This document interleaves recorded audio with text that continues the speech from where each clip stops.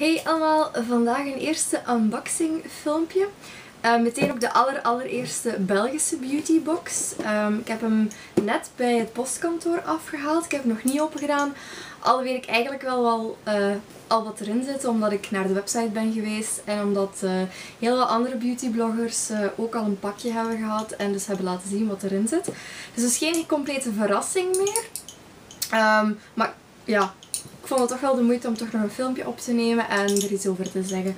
Um, de Belgische beautybox heet Duty. Um, dat is eigenlijk een samentrekking van Discover Beauty. En het zit in een zwarte uh, vierkante doos. Um, ik ben wel blij dat ze voor zwart hebben gekozen, want dat zijn zo van die stevige doosjes die dat je nog kan uh, recupereren en recycleren en voor iets anders gebruiken. En ik denk dat zo'n aantal zwarte doosjes op een uh, dressoir of in de badkamer bijvoorbeeld wel veel leuker zijn dan uh, ja, gewoon roze of groene of gele exemplaren. Um, dus dat is al een eerste positief iets. Als je het dan open doet, um, dan ziet het er zo uit. Dit is het deksel zelf. Dus uh, je hebt uh, het vogeltje dat dan eigenlijk de beauty komt afleveren. En dan, dit is de binnenkant. Uh, zoals je ziet, er is een envelopje bij, er zit een kaartje in.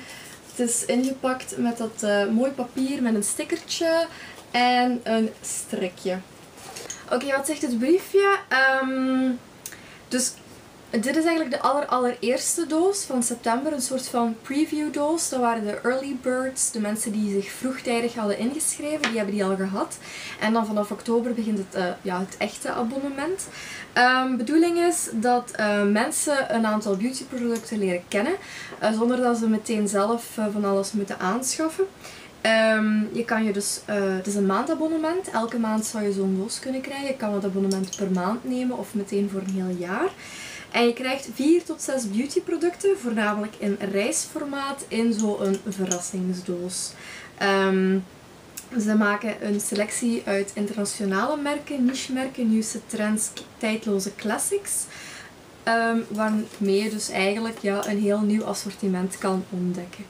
Um, dat is meteen ook een beetje het nadeel. Je weet eigenlijk niet echt altijd wat er in de doos zal zitten. Dus als je een abonnement neemt, kan het zijn dat het de ene maand uh, goed meevalt en de andere maand wat tegenvalt. Nu, de eerste maand um, is normaal, moet een klepper zijn. En ik denk ook dat ze erin geslaagd zijn. Um, de allereerste beautybox en haar beauty selectie. En wat zeggen ze? Dat is een kaartje. En op de achterkant staan dan eigenlijk uh, de producten met de uitleg hoe te gebruiken. Um, het uh, formaat dat in de doos zit en dan de vergelijking met het full-size formaat en de prijs van een volledig formaat. Dus ik ga het eens open doen. Als je het papiertje dan open doet, dan zie je dit. Dit is eigenlijk de goed gevulde box. Um, het zijn uh, drie full-size producten en twee kleinere luxe staalverpakkingen.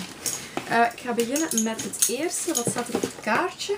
Het eerste is de Clara uh, Hydra Crunch Intensive Serum. Dat is dit. Het zit in het doosje. Ik ga het eventjes eruit halen. Dus is een serum, een hydraterend serum, als ik mij niet vergis, voor, voor de huid, voor je gezicht. En dit is dan eigenlijk uh, het luxe staal. Dit is 15 milliliter. Um, de full size is 30 milliliter. Dus komt erop neer dat je eigenlijk de helft van het full size product in de doos krijgt. Het full size product kost uh, eh, 58,5 euro. Dus de helft daarvan is een kleine uh, eh, 29 euro. Waarmee dat je eigenlijk al meteen de waarde van deze eerste doos overstegen hebt en dus meer hebt teruggekregen dan de 15 euro die je per maand betaalt. Um, het is dus eigenlijk de bedoeling dat het serum inderdaad een langdurige hydratatie geeft, um, lichte textuur, um, bestaande uit twee bestanddelen. Dus uh, je gaat het moeten schudden zodat de twee bestanddelen zich mengen. ja, goed. Ben eens benieuwd. Het volgende is een product van Nux. Dit is een full size, uh, dus wordt ook zo in de winkel verkocht. Is een micellair reinigingswater met een. Altijd interessant, micellaire watertjes zijn tegenwoordig heel erg populair. Verschillende merken hebben zo'n product. Van Nux heb ik die nog niet geprobeerd, maar kijk, dit is de ideale uh, gelegenheid om dat eens te testen. Uh, dus met drie soorten roosjes en groene thee. Zowel voor het gezicht als voor de ogen. En alle huidtypes ook voor de gevoelige huid. Ideaal. Uh, dus 100 milliliter zit er in een toosje. 100 milliliter kan je in de winkel kopen. En de verkoopprijs is 10 euro. Het volgende product is al een, een zeer bekend product op mijn blog. Want ik heb er al meerdere keren over geschreven. En dat is de Mythic Oil. ik ben heel blij dat die erin zit. Want ik gebruik die inderdaad heel erg graag. Um, dit is ook een full size, 125 milliliter. Kost dus normaal gezien 19 euro. En zit in de doos.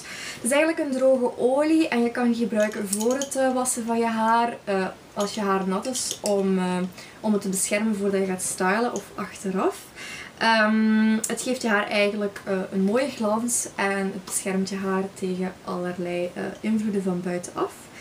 Dus um, als je graag eens de Mythic Oil wou proberen, dan is zo een eerste doos eigenlijk wel ideaal. Dus dit is de full size versie, zoals ik hem al kende. Het vierde product, ook een haarproduct. Uh, Redken, een volumemousse. Um, even kijken. Dit is dus uh, 65 milliliter. Dit is dus weer uh, een staal of een luxe staal. Want de full size die je in de winkel koopt is normaal gezien 250 milliliter. Um, en daarvan is dan de aanbevolen verkoopprijs 24,30 euro. Dus hiermee heb je eigenlijk een soort van, even kijken, 1 vierde ongeveer.